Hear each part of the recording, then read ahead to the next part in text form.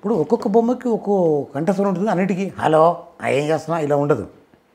దానికి ఇప్పుడు నా దగ్గర ఓల్డ్ మ్యాన్ ఉంది ఓల్డ్ మ్యాన్ క్యారెక్టర్ నేను ఏం చేశానంటే నాకు స్టీవ్ యాక్స్టల్ యూఎస్ నుంచి నేను ఎప్పుడు అతని దగ్గర తీసుకుంటాను అంటే ఒక డాల్ ఇలాంటి డమ్మీ తీసుకుంటే అది ఒక మూడేళ్ళ కంటే ఎక్కువ ఉండదు. ఎందుకంటే ఇది మన ఇండియాలో దొరకదు కాదు దొరకదు. ఓకే. అయితే ఇది త్రీ ఇయర్స్ కంటే మించి ఉండదు. ఎందుకంటే ఇది లేటెక్స్తో తయారు చేసింది. కరిగిపోతుంటుంది. ఇప్పుడు ఇలా ఉంది. దీని బొమ్మని కదిలించడాన్ని వెంట్రలాక్విజం భాషలో అంటే వెంట్రలాక్విజం కళకి సంబంధించిన భాషలో చెప్పాలంటే డమ్మీ మ్యానిపులేషన్ ఇది డమ్మీ. డమ్మీ అనగానే మనం డమ్మీ అభ్యర్థి నిజమైన అభ్యర్థి అంటే ఆ డమ్మీ కాదు. డమ్మీ అంటే మాకు బొమ్మ. మేము రాజకీయ నాయకులం కాదు రాజకీయ పార్టీలం కాదు కాబట్టి. సో దీన్ని డమ్మీ మ్యానిపులేషన్ అంటే బొమ్మని కదిలించడం. డమ్మీ మ్యానిపులేషన్ అంటే అది సహజంగా ఉండాలి. ఉత్తనే నీ పేరేంటి? ఎక్కడ ఉన్నా ఇట్లా చేసేవాళ్ళు చాలామంది మీరు చూసుంటారు. ఏ ప్రదర్శన ఎవరు చేసినా దాదాపు నైంటీ పర్సెంట్ అలాగే చేస్తారు. అట్లా ఉండకూడదు.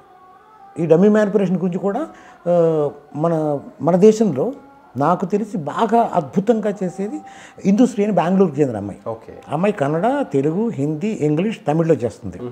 ఎంత బాగా చేస్తుందంటే మనం నిజంగా ఆ బొమ్మే మాట్లాడుతోందన్నంత భ్రమ కలిగిస్తుంది ఆ డమ్మీ కేవలం డమ్మీ మ్యానిపులేషన్తో ఓకే. ఇప్పుడు ఈ బొమ్మ కూడా మనం ఏంటి నీ పేరేంటి? ఇలా మాట్లాడేవాళ్ళు మీరు చూసింటారు చాలామంది. అది కాదు. దానివల్ల ఏ ప్రయోజనం ఉండదు. ఇప్పుడు దీనికి ఒక వాయిస్ ఉండాలి.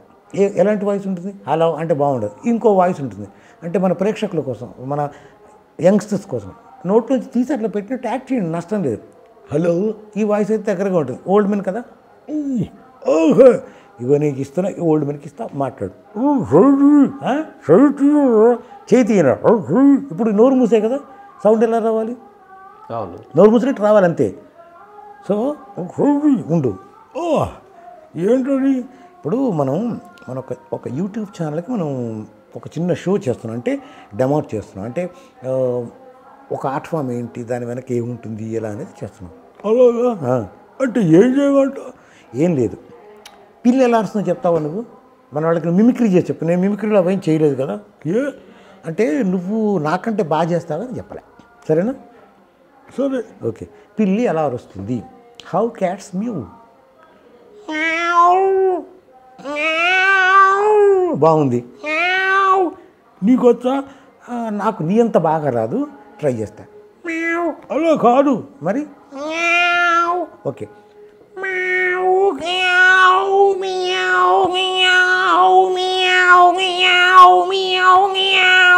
బాగుంది.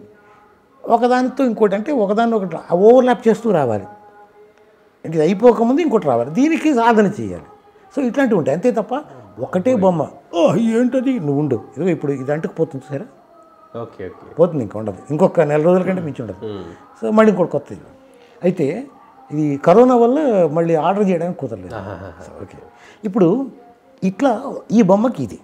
అలాగే బొమ్మని అనవసరంగా ఎక్కువ కదిలించకపోవడం ఒకటైతే బొమ్మని అనవసరంగా కదిలించకపోవడం ఒక భాగం అయితే బొమ్మకి తగిన కంఠధ్వనిని ఉపయోగించడం చాలా ప్రధానం. అలాగే మనం ఎన్ని అక్షరాలు అక్షరధ్వనులు ఉపయోగిస్తే అన్నిసార్లు ఆ నోరు అన్నిసార్లే మాత్రమే కదలాలి తప్ప ఇష్టం వచ్చినట్టు కదలొద్దు నీ పేరేంటి అంటారు. అంటే అన్నిసార్లు నోరు కదులుతుందా? నీ పేరేంటి అన్నప్పుడు ఒక్కసారి పెద్ద కదులుతుంది కదా.